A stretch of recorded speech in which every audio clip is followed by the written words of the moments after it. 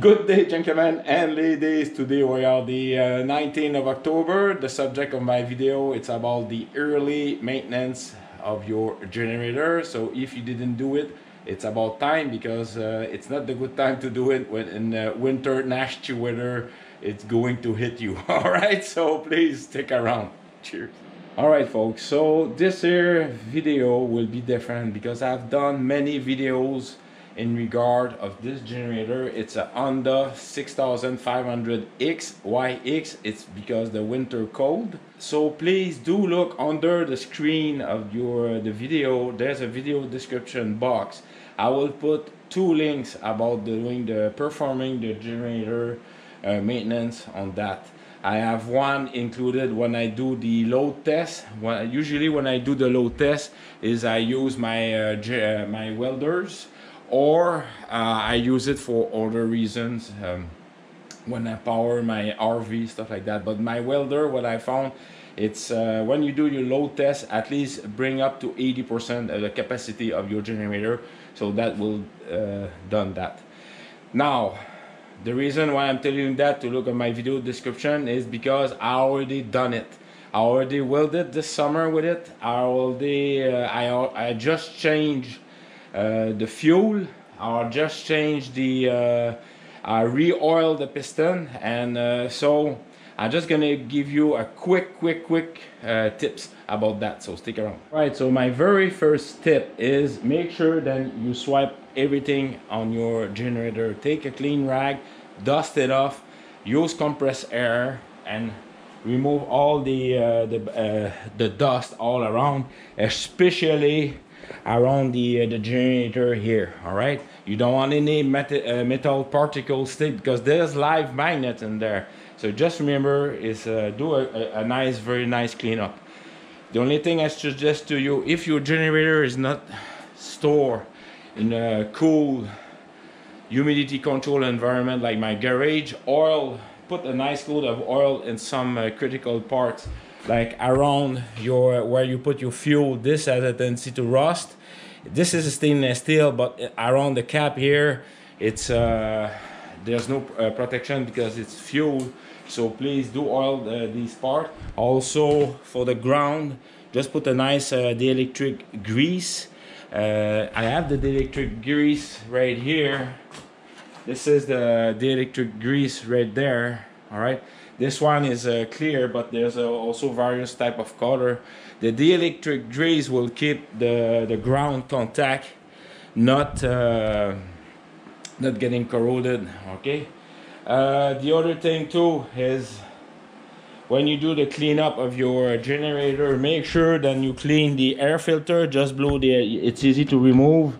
You just re, uh, open it and you there's the uh, filter element and just uh, make sure you clean it. I'm just gonna close it like that. I already the only thing left right now is just the uh, dusting off.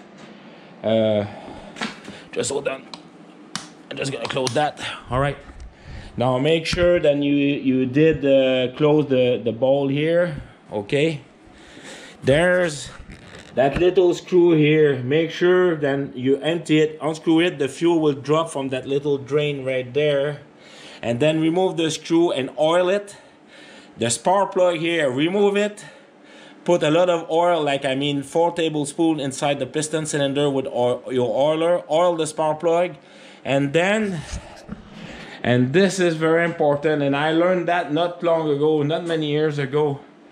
Close your the the valve on the compression stroke. Right now it is on the compression stroke but if I'm going down like this oh boy that's the compression stroke. And then that's the first one. And then this one. Yeah oh yes.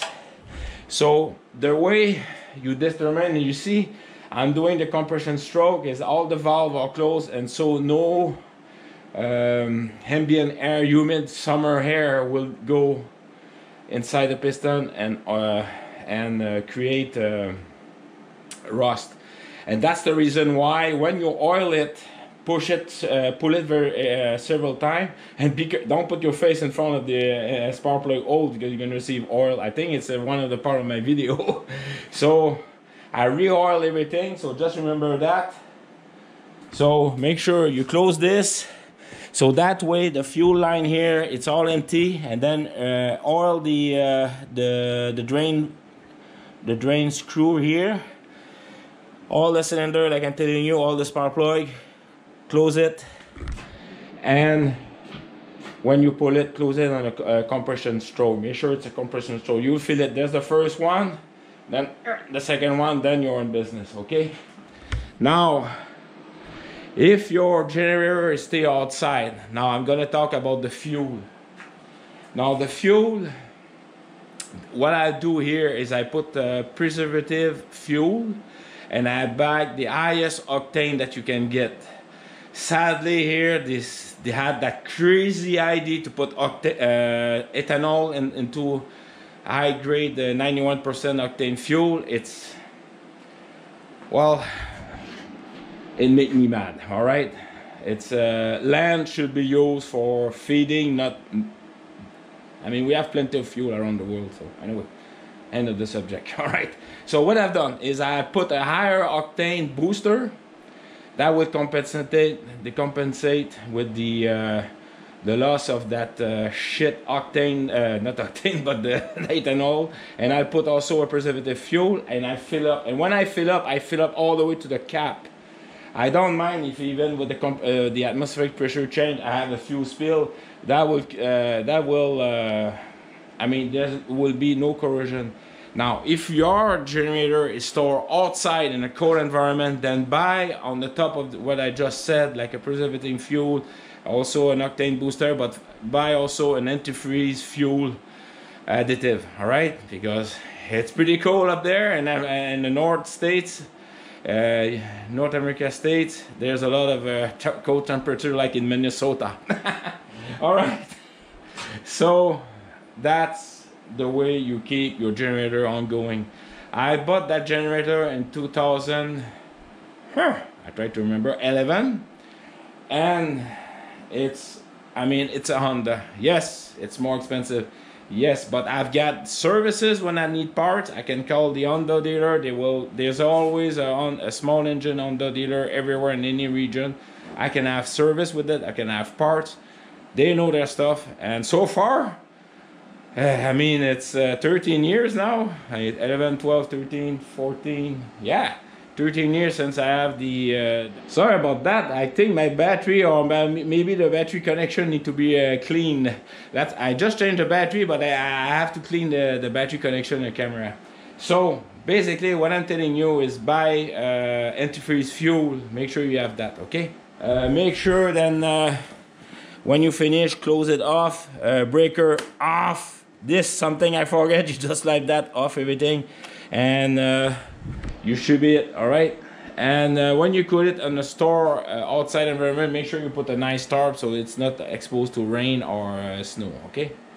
So that will be my short video about my generator.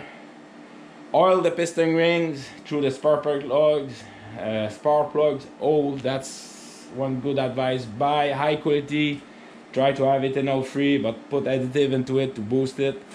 Clean it uh, and also do a one year load test. And I use also when you do your oil change use synthetic oil. This one is 1030 synthetic oil because synthetic oil doesn't de decay until two years all right roughly. If you use mineral oil it's good within months after six or seven months change your your uh, your mineral mineral oil. Mineral oil is good for those period of time. Past that change it okay? So uh, this is my best advice and it's a short video but please do it. It's the perfect time. In fall season. The air is dry. Everything is performed. So when we're gonna have our nasty uh, winter storms uh, the generator would be in service. So that's a kind remember for you folks. And thank you very kindly for all your standing support comment. Let's help each other. And please do look at my video description. I'm gonna put two for you. And uh, yeah just try to remember. And if oh yes what i like when we exchange please on the comment put uh, marks like uh, you know my yellow and bright and say, hey folks, by the way, David forget to mention that, so please do that, okay? Well, let's help each other. There's not a winning competition here. It's just we're uh, we're technical library, and we try to help each other, okay? And uh, I may forget something. I just think about it. Everything is covered, okay? So remember, folks, life is good. All right. Cheers.